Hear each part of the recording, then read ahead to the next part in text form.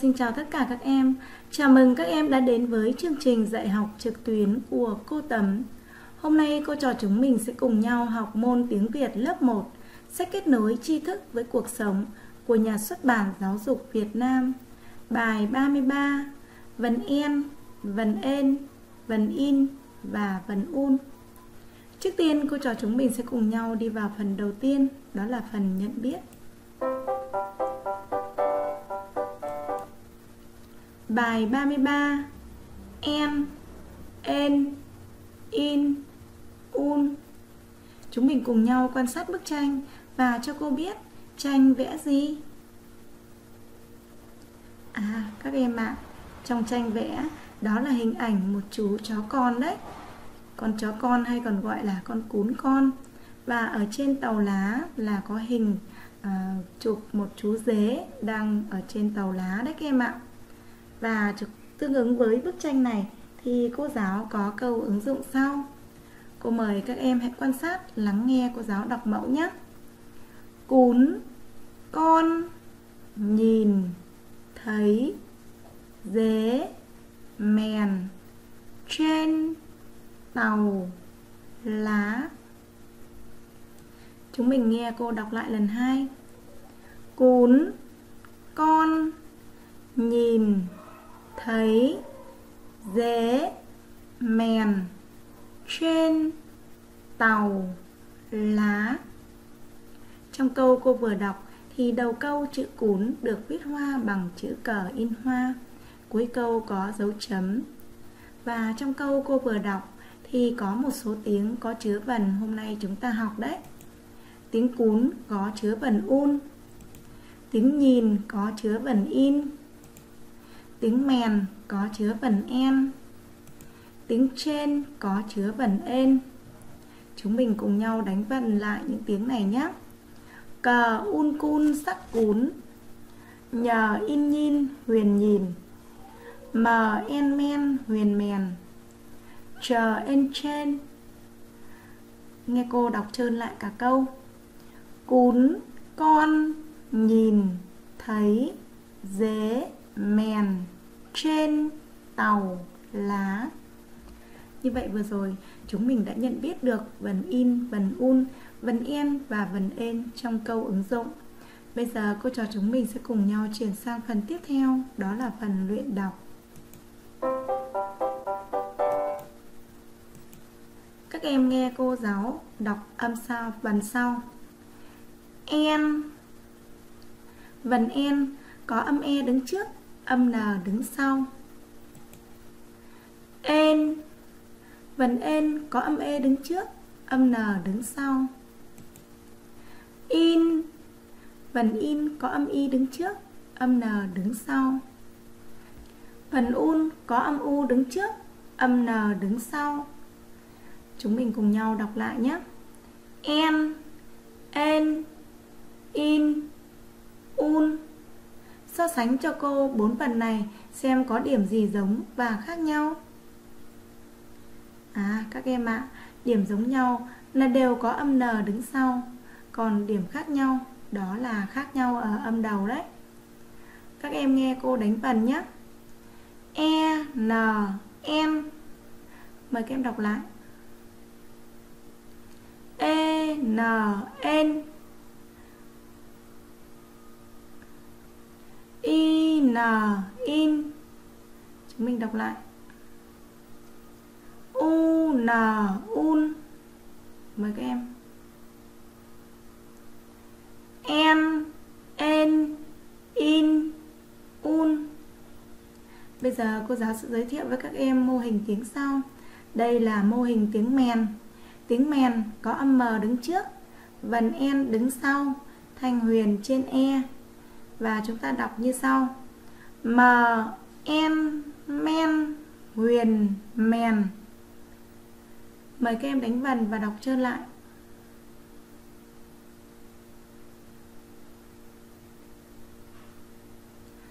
Chúng ta đọc trơn là men. Mời các em đọc. Trong tiếng mèn có chứa phần en mà hôm nay chúng ta học đấy. Bây giờ chúng mình sẽ luyện đọc tiếng có chứa phần hôm nay chúng ta học nhé khờ en khen, huyền khen khen mỗi lần cô giáo đọc xong thì các em sẽ đọc lại. Tiếng khen có chứa vần en. Sờ en sen sen. Tiếng sen có chứa vần en. N en nên sắc nến nến. Tiếng nến có chứa vần en. Ngờ en nghên hỏi nghển nghển. Tiếng nghển có chứa vần en. Chờ in chin sắc chín chín.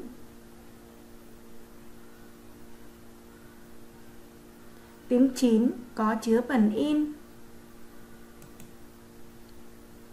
M in min, nặng mịn mịn. Mời các em đọc lại. Tiếng mịn có chứa vần in. Cờ un cun sắc cún cún. Tiếng cún có chứa vần un và un vun vun. Tiếng vun có chứa vần un.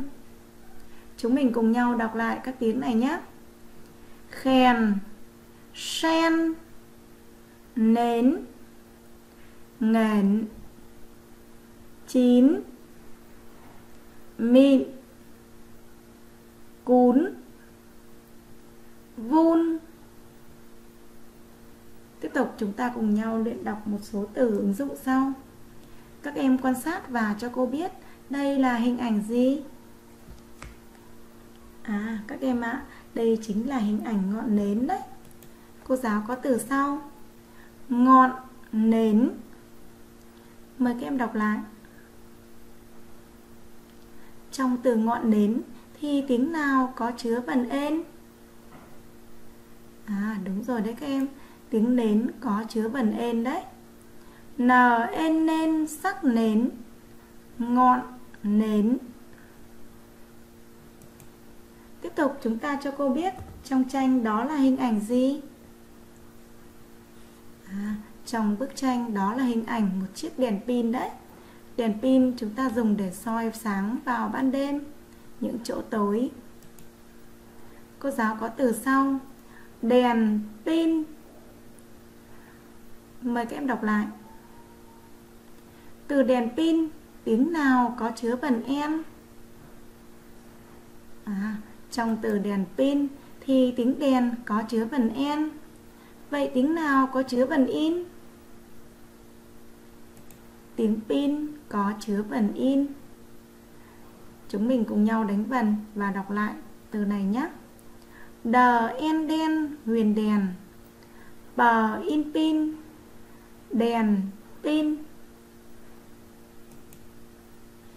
Tiếp tục chúng ta quan sát bức tranh và cho cô biết tranh vẽ gì nào. À các em ạ, trong tranh vẽ đó là hình ảnh một chú chó, hay còn gọi là cún con đấy. Cô giáo có từ sau, cún con. Mời các em đọc lại. Cho cô biết trong từ cún con thì tiếng nào có chứa vần un? À tiếng cún có chứa vần un đấy. Chúng mình đánh vần nhé cờ un cun sắc cún. Cún, con. Chúng mình cùng nhau đọc lại cả ba từ nào? Ngọn nến, đèn pin, cún, con. Chúng mình sẽ cùng nhau đọc trơn lại cả bài nhé en en in un mờ em mèn khen sen nến nghển, chín mịn cún vun ngọn nến đèn pin. Cún con. Như vậy vừa rồi chúng mình đã cùng nhau hoàn thành xong phần 2 tiếp tục cô trò chúng mình cùng nhau chuyển sang phần 3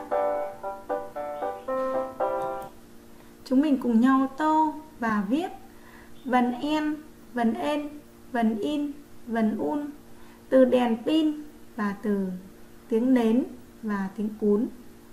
Chúng mình hãy quan sát lên màn hình đây là vần en vần en, vần in và vần un. Chúng ta thấy cả bốn vần này đều có điểm giống nhau là đều có con chữ N đứng sau, còn khác nhau ở âm đầu. Bây giờ chúng ta sẽ quan sát quy trình viết các vần này như sau. Vần en có độ cao là 2 ly quy trình viết như sau. Đầu tiên chúng ta viết con chữ E có độ cao là 2 ly từ điểm dừng bút của con chữ E chúng ta viết con chữ N có độ cao là 2 ly Điểm dừng bút là ở trên đường kẻ 2. Tiếp tục, chúng ta luyện viết vần en. Vần en viết giống như vần em Đầu tiên, chúng ta viết con chữ E có độ cao là 2 ly. Viết tiếp sang con chữ N có độ cao là 2 ly. Chúng ta lia bút lên trên đường kẻ giữa đường kẻ 3 và đường kẻ 4, chúng ta để dấu E trên đầu con chữ E. Tiếp tục vần in cũng có độ cao là 2 ly. Gồm có con chữ Y có độ cao là 2 ly. Ghép với con chữ N có độ cao là 2 ly. Chúng ta lưu ý là dấu uh, phụ dấu Y thì chúng ta để là một dấu chấm ở giữa đường kẻ 3 và đường kẻ 4. Tiếp tục, chúng ta cùng quan sát vần un. Vần un cũng có độ cao là 2 ly Gồm có con chữ U đứng trước, Có độ cao là 2 ly Ghép với con chữ N, Có cùng độ cao là 2 ly Điểm dừng bút ở trên đường kẻ 2 Mời các em hãy bấm dừng hình để chúng ta luyện viết vần en, vần en, vần in, vần un vào bảng con. Tiếp tục cô giới thiệu với các em từ sau. Đây là từ đèn pin. Từ đèn pin gồm hai chữ, đó là chữ đèn ghép với chữ pin. Chữ đèn đứng trước, chữ pin đứng sau. Chúng ta viết chữ đèn. Chữ đèn có con chữ đờ đứng trước có độ cao là 4 ly. Ghép với phần en có độ cao là 2 ly. Và thanh huyền thì trên đầu con chữ E. Cách một con chữ O chúng ta viết chữ pin con chữ P có độ cao là 4 ly ghép với phần in có độ cao là 2 ly chúng ta sẽ được chữ pin cô mời các em hãy bấm dừng hình để chúng ta luyện viết từ đèn pin và bảng con tiếp tục, cô giáo hướng dẫn các em viết chữ nến và chữ cún chữ nến gồm có con chữ N ghép với vần ên thanh sắc trên E có cùng độ cao là 2 ly Chữ cún cũng có cùng độ cao là 2 ly. Đầu tiên chúng ta viết con chữ cờ. Sau đó ghép sang vần un. Thanh sắc trên đầu con chữ U, chúng ta sẽ được chữ cún. Cô mời các em hãy bấm dừng hình để chúng ta luyện viết chữ nến và chữ cún vào bảng con. Như vậy vừa rồi cô đã hướng dẫn các em cách tô và viết vần en, vần en, vần in, vần un từ đèn pin, chữ nến và chữ cún. Bây giờ chúng mình sẽ cùng nhau chuyển sang phần tiếp theo, đó là phần luyện đọc. Quan sát lên màn hình. Trên bảng, cô giáo giới thiệu với các em, đây là hình ảnh hai con vật. Các em có biết đây là con vật gì không? À, các em ạ, à, ở bức tranh thứ nhất, đó là hình ảnh con ba ba đấy. Còn ở bức tranh thứ hai đó là hình ảnh con rùa các em ạ Nhìn hai con vật này về hình dáng thì có giống nhau Nhưng chúng ta quan sát kỹ là con ba ba thì mình của nó nhỏ hơn và trơn. Còn con ba con rùa là con vật có mai cứng hơn và có cái hình à, hình vẽ ở trên lưng. Đây, các em thấy là có hình à, ở trên lưng này. Còn con à, ba ba thì cái mai của nó mềm hơn nhỏ hơn và nó ừ, là hình trơn. Cô giáo có một đoạn thơ ứng dụng nói về con vật này bây giờ các em sẽ đoán xem đó là con vật gì nhé. Con gì tên rõ là cha? Có chứa chữ số, nhìn qua ngỡ rùa. Con gì quen vẻ già nua? Bốn chân ngắn ngủn thỏ thua chả ngờ. Các em ạ, đây là một ờ, đoạn thơ nói về một con vật có tên là con ba ba đấy vì ở đây chúng ta thấy con gì, tên rõ là cha. Cha ở đây có nghĩa là ba. Có tên khác là ba, hay còn gọi là bố đấy. Cha, ba, bố. Ở miền Bắc thì gọi là bố, còn miền Nam gọi là cha hoặc ba. Có chứa chữ số, nhìn qua ngỡ rùa. Chữ số ở đây đó là chữ số 3 con gì quen vẻ già nua, bốn chân ngắn ngủn, thỏ thua chả ngờ thì chúng ta đã được nghe câu chuyện rùa và thỏ à, thi cùng nhau thi chạy. Thì con thỏ nó chê là con rùa rất là chậm chạp cho nên nó coi thường nó cứ mãi chơi cho nên cuối cùng rùa là người chiến thắng đấy. Và như vậy là chúng ta thấy đây chính là câu đố nói về con ba ba các em nhé. Đây là hình ảnh con ba ba. Chúng ta hãy đọc theo cô từng dòng thơ nhé. Con gì tên rõ là cha? Cô mời các em đọc lại.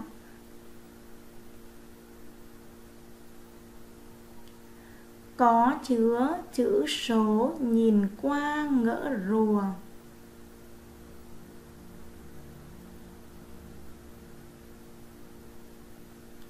Con gì quen vẻ già nua?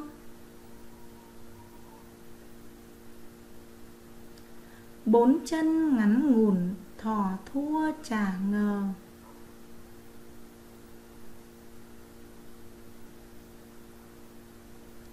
Như vậy vừa rồi cô trò chúng mình đã cùng nhau luyện đọc một số câu đố nói về con ba ba.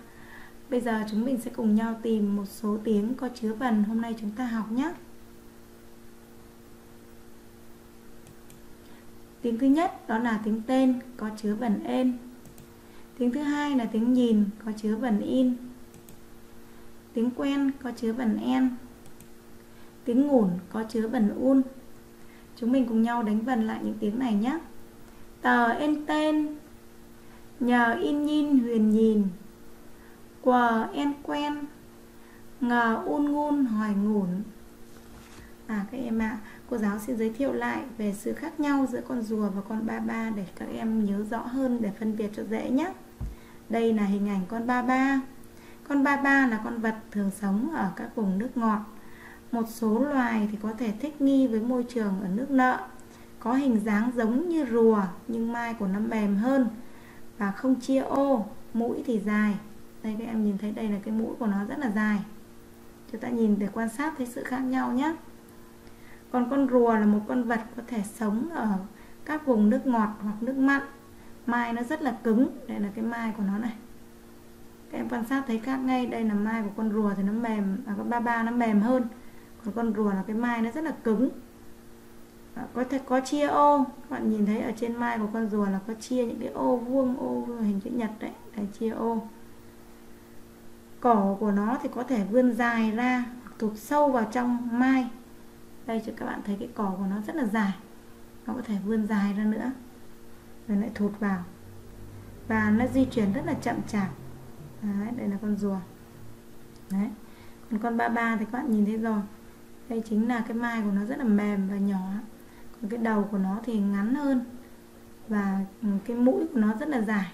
Ta thấy là nó có cái hình dáng khác đó là có cái mũi rất là dài. Như vậy các em đã phân biệt được con rùa và con ba ba chưa? Rồi, bây giờ cô trò chúng mình sẽ cùng nhau chuyển tiếp sang phần tiếp theo, đó là phần luyện nói nhé.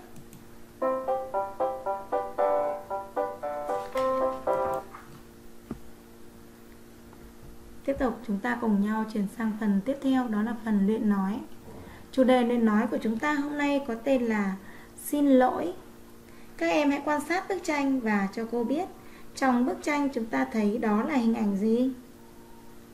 À các em ạ, à, chúng ta thấy trong bức tranh đó là hình ảnh à, đây là hình ảnh bác bảo vệ và đây là hình ảnh hai bạn học sinh đấy vậy việc gì đã xảy ra giữa Nam và bác bảo vệ à các em ạ. À, đây chính là bạn Nam đấy. Bạn Nam đã vô tình đá quả bóng vào lưng của bác bảo vệ đấy. Thế các em cho cô giáo biết bạn Nam có lỗi không? À các em ạ à, khi đá bóng vào người khác dù vô tình hay cố ý thì chúng ta cũng có lỗi đấy. Vậy nếu em là nam em sẽ xin lỗi bác bảo vệ như thế nào? À các em ạ à, nếu chúng ta là bạn nam chúng ta phải biết nói lời xin lỗi bác. Có thể nói như sau cháu xin lỗi bác lần sau cháu không vô ý như thế nữa ạ. À. hoặc là à, cháu xin lỗi bác à, lần sau cháu không thế nữa. Hoặc là bác tha lỗi cho cháu cháu không may đã đá bóng vào người bác rồi. À, như vậy chúng ta thấy là ở đây chúng ta thấy khi à, được bác bảo vệ và khi được bạn nam xin lỗi thì bác bảo vệ chắc chắn cũng sẽ vui mừng và tha lỗi cho các bạn thôi. Và lần sau các em nhớ khi đá bóng thì chúng ta cần phải chọn những địa điểm mà không có người ở sân bóng của nhà trường sân cọ. Chúng ta không nên đá bóng ở những khu vực có đông người thì sẽ rất à, bất tiện có thể đá vào người khác các em ạ. Như vậy trong tình huống này bạn nam đã biết nói lời xin lỗi. Ai trong chúng ta cũng có thể mắc lỗi nhưng chúng ta phải biết nhận lỗi và sửa lỗi đó mới là điều quan trọng các em nhé. Tiết học của chúng ta hôm nay đến đây là hết rồi. Thân ái chào tạm biệt các em. Chúc các em chăm ngoan, học giỏi và hẹn gặp lại các em ở tiết học sau. Cảm ơn các em đã xem video. Hãy bấm like để ủng hộ kênh, comment để nêu ý kiến của bạn. Đăng ký kênh để được xem video mới.